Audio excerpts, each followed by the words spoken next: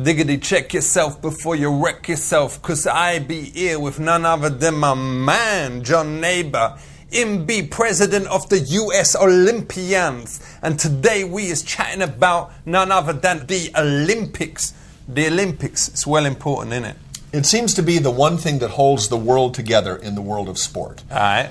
So where's the Olympics being held this year? In Athens, Greece. In Greece. Yeah. Why is it being held in a, excuse me French, bit of a crap country? The, the, the city of Athens was the city where the very first modern Olympics was ever held in 1896. So what other type of Olympics is there? The only other type of Olympics I know of is something called the Special Olympics.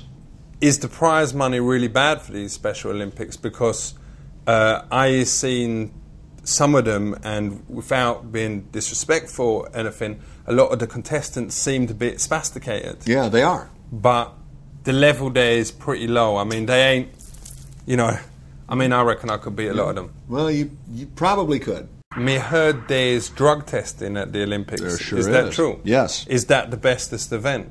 Uh, drug testing in the Olympics is basically they take some urine from the athletes and they run it through a machine that Alright. detects if there's any drugs in there. So what does you do to them if you find there's been taking drugs? You kick them out.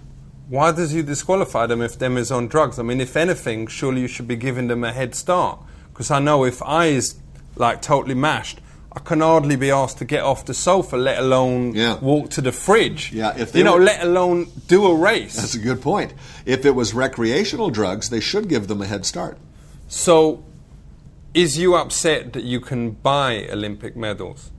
Where can you buy them? Oh, like on eBay? Well, no, like my nan bought me one from Egham Market near Staines where me live for like best grandson. Ain't that wrong?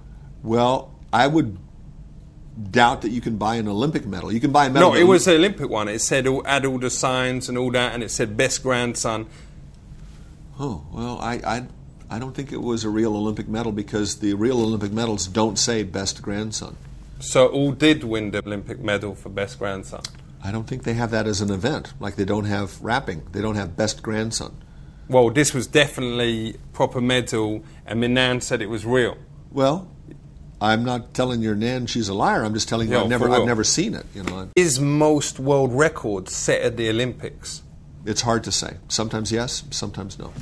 Was the world record for the tallest man set at the Olympics? No. The world's record for the tallest man is not an Olympic competition. That's just a Guinness Book of World Records record. So what about the record for the longest moustache? No, that was not an Olympic sport either. Somebody said you, you, it's possible to be the world's tallest midget, but how do you know? What? You know well, you measured them, innit? Yeah, but but how do you know the world's tallest midget? Well, you'd have to you, with a ruler, innit? Yeah, but how do you know what makes a midget? Maybe I'm the world's tallest midget, am I? No, midgets is like the small blokes, Right. Isn't it? So how do you become the world's tallest midget? I don't know with diet and uh, how you eat. Well, what makes a midget a midget? The fact that they're short?